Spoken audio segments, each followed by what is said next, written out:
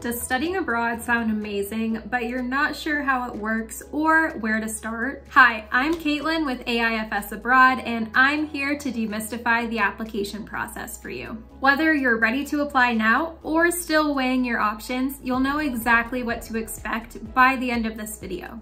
Let's jump right into how to apply to study abroad. Your first step is choosing your program. AIFS Abroad offers a wide range of options year-round. You can search for the right study abroad program for you at aifsabroad.com. One way to do this is by navigating to the Find My Program button below the main image on the home page. This will take you to the search page where you can narrow your search by program type, term, destination, housing, and academic focus. Once you have an idea of where and when you want to go, talk with your family, support network, and study abroad office at your home university about your plans. Your school may have its own application process to study abroad, so be sure to talk with your study abroad office early. It's also a good idea to reach out to your financial aid office. They can let you know if any assistance you receive can be applied to your time abroad. Next, it's time to start your application.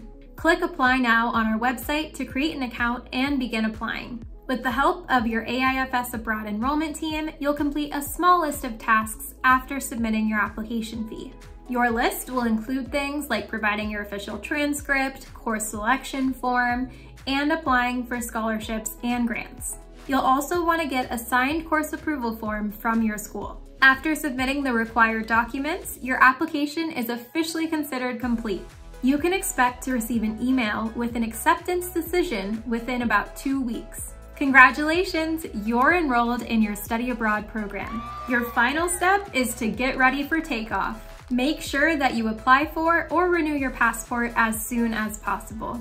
Carefully read all of the information provided to you since you may need to apply for a student visa. And remember, AIFS Abroad is here to support you every step of the way. You'll have on-site support from our local staff or resident director to help you with any questions you may have throughout your program. That wraps up our video on our application process. We're here to help if you have any other questions or need help applying. Now that you know how simple it is to apply, we just want to give you one last tip. Don't procrastinate. For all our programs, the earlier you apply, the better. Visit AIFSabroad.com and start exploring where you can go today.